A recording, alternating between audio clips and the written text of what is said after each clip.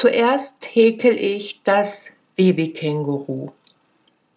Das besteht aus Körper und Kopf, die zusammen in einem Stück gehäkelt werden.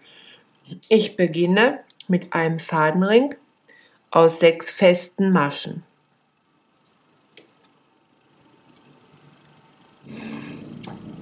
Den Fadenring ziehe ich zusammen und häkel in der nächsten Reihe, in der zweiten Reihe, jede Masche doppelt, so dass hinterher zwölf feste Maschen da sind.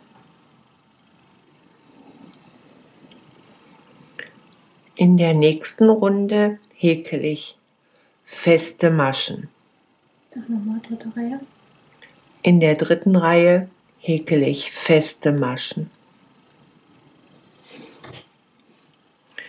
In der vierten Runde nehme ich schon ab und zwar jede zweite und dritte Masche.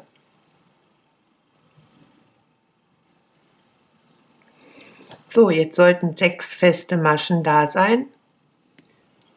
In der fünften Runde verdoppel ich jede Masche, so dass zwölf feste Maschen da sind. So, diese Fäden schneide ich jetzt ab.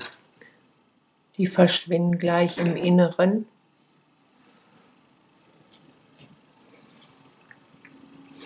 Und häkel weiter mit der sechsten Runde feste Maschen. In der siebten Runde verdoppel ich jede vierte Masche. In der achten Runde häkel ich feste Maschen. In der neunten Runde häkel ich drei feste Maschen und nehme zwei zusammen ab. Also ich nehme jede vierte und fünfte Masche ab. In der zehnten Runde, das ist auch die letzte, nehme ich immer zwei Maschen zusammen ab.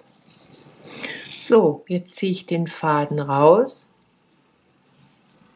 schneide ihn ab und lass erstmal den ziemlich lang hängen zum Vernähen. Nun stopfe ich den Körper und den Kopf mit Bastelwatte aus.